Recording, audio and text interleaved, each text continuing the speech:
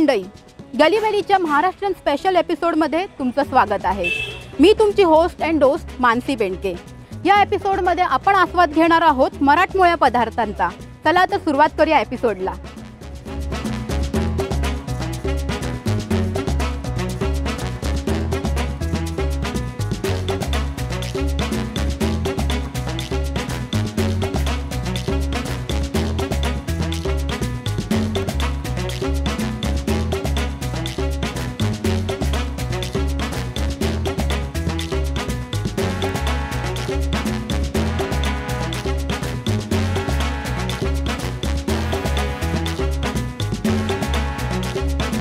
एकादशी म्हटलं की तुम्हाला वाटलं असेल की इथे फक्त उपवासाचे पदार्थ मिळतात पण तसं नाही. फक्त उपवासाचेच नाही तर बिन उपवासाचे पदार्थ देखील इथे खूप छान मिळतात. तो इथला जो ऑल टाईम फेमस पदार्थ आहे तो म्हणजे मिनी साबुदाणा वडा. तो मी आता ट्राय करणार आहे पण ट्राय करण्याआधी मी तुम्हाला सांगते की ह्या एका प्लेटमध्ये तुम्हाला दहा वडे येतील. दहा वडे का? तर कसं असतं आपण कुठे एखाद्या हॉटेलमध्ये गेलो की आपण एकटे नसतो. आपल्यासोबत कोण ना कोण जो आपले फ्रेंड्स असतील फॅमिली असेल दोघं तिघं जण तर असतातच मिनी साबुदाणा वडा जे आहेत ते दहा असल्यामुळे आपण ते शेअर करू शकतो. सो सध्या तरी मी हा एकटाच संपवणार आहे. चला. हा तुम्ही बघू शकता हा साबुदाणा जो वडा आहे तो बाहेरून जेवढा क्रिस्पी आहे तेवढाच आतून सॉफ्ट आहे. तो पहिला बाईट मी याचा घेते.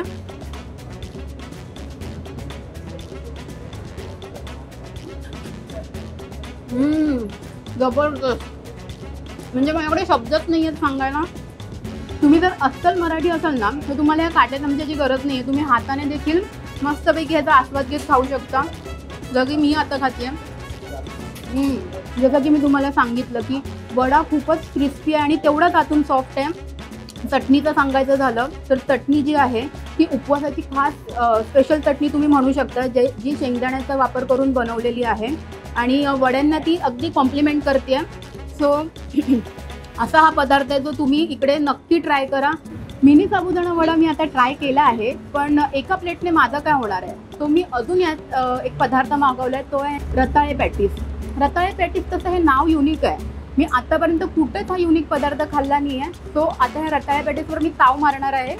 सो लेट स्टार्ट मी हा रताळ्या पॅटीस ट्राय करते आहे की हे बाहेरून क्रिस्पी आहे तेवढंच आतून सॉफ्ट आहे.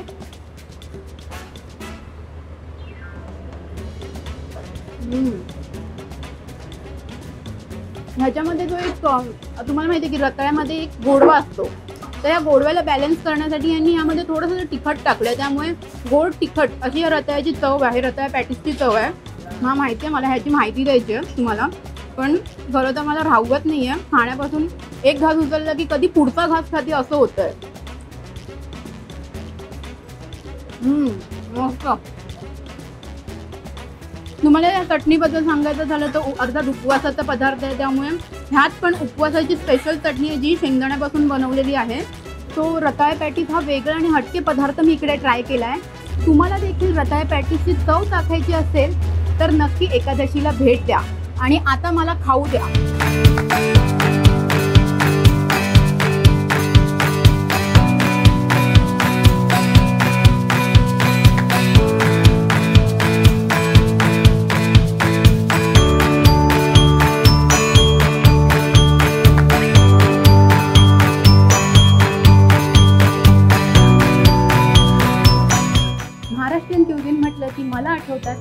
पदार्थ. एक म्हणजे आळूवडी आणि दुसरी म्हणजे कोथिंबीर वडी.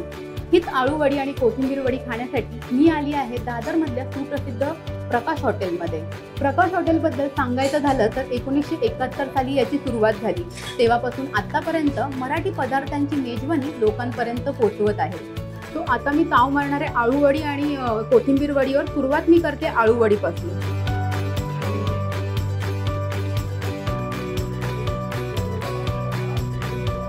पहिली मी नुसती खाऊन बघते.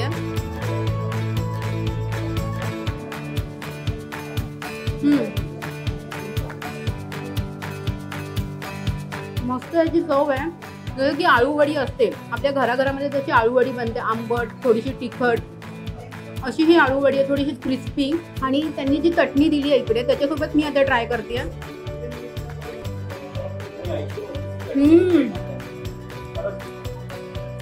खरं तर प्रकाशमधली चटणी ही त्यांची खासियत आहे. आणि खरंच इथली चटणी खूपच छान आहे. चटणी एकदम कॉम्प्लिमेंट करते या आळूवडीला. आळूवडी तर मी ट्राय केली आता ट्राय करूया कोथिंबीर वडी.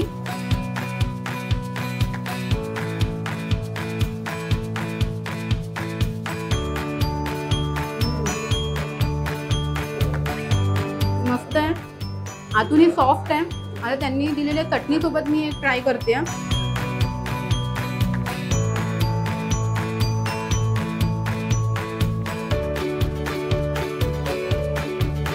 हम्म. खूप मस्त आहे.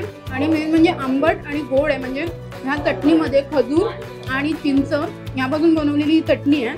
त्यामुळे कोथिंबीर वडीसोबत खायला खरंच खूप मजा येते खरं तर कोथिंबीर वडी जी चटणी सोबत आपण जेव्हा खातो तेव्हा आपल्याला एक आंबट तिखट गोड अशी चव होते म्हणजे तोंडात एक एकदम बस्ट होतोय. जी जी टेस्ट आहे ती बस्ट होते ऑथेंटिक कोथिंबीर वडी आणि आळू वडी ट्राय करायची असेल तर प्रकाश हॉटेलला नक्की भेट द्या आणि इकडची आळू वडी नक्की ट्राय करा.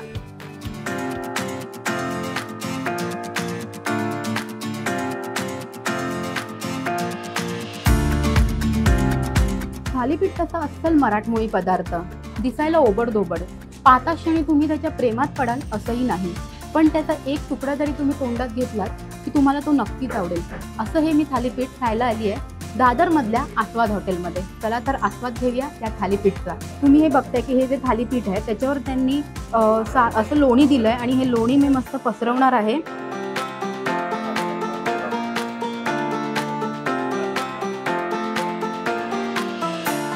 थालीपीठचा खमंग असा वास येतोय. थालीपीठ सोबत त्यांनी खायला दही देखील दिलेलं आहे. तर या दह्यामध्ये डिप करून मी थालीपीठ खाणार आहे.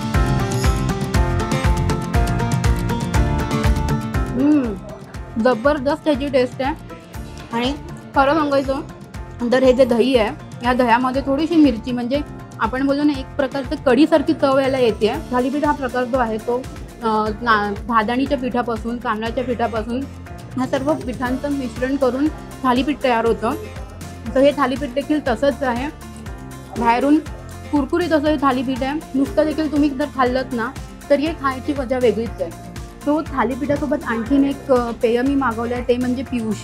पियुष हे आपल्या महाराष्ट्रीयनमध्ये महाराष्ट्रांमध्ये अमृत म्हणून समजलं जातं. त्याचं कारण असं की सध्या तर आता उन्हाळा ऑक्टोबर हीट सुरू झाली आहे. तर ऑक्टोबर हीटमध्ये बेस्ट पेय जे असेल ते म्हणजे पियुष आहे. सो मी आता हे पियुष ट्राय करणार आहे. तुम्ही याची कन्सिस्टन्सी बघू शकता.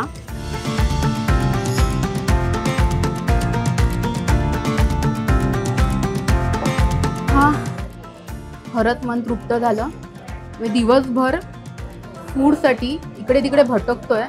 ते पहिलं पेय असेल जे पियाल्यावर खरंच मनाला शांती लाभली आहे आणि पियतच राहावं असं वाटतं